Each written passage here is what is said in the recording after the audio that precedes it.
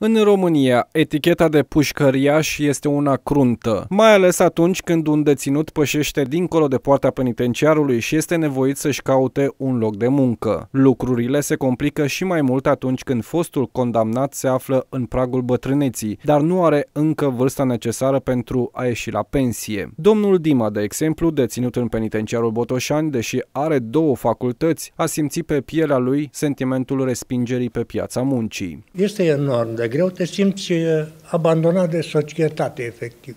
Dat deoparte, după ce ai încercat, cum ai putut și cât ai putut să realizezi ceva pentru tine și pentru ceilalți, ești eliminat, e îndepărtat efectiv. Și e foarte greu.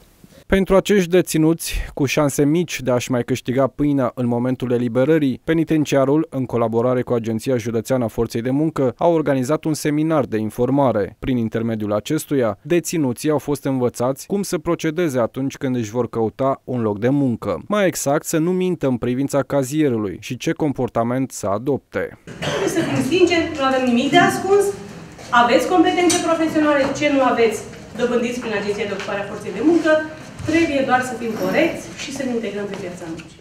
Se știe foarte bine că aceste persoane care se află în detenție sunt foarte greu de integrat în piața muncii.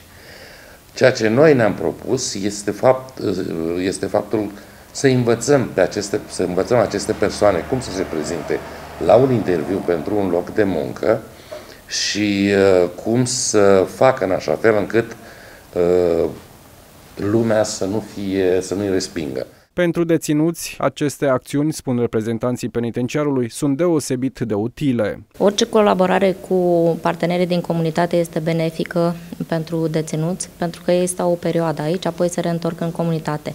Cu atât mai mult cu Agenția Județeană de Ocupare a Forței de Muncă, uh, este necesară, este utilă, este binevenită și apreciată de către deținuți colaborarea, pentru că le furnizează acele informații care le pot crește real, în mod real, șansele de reinserție socială.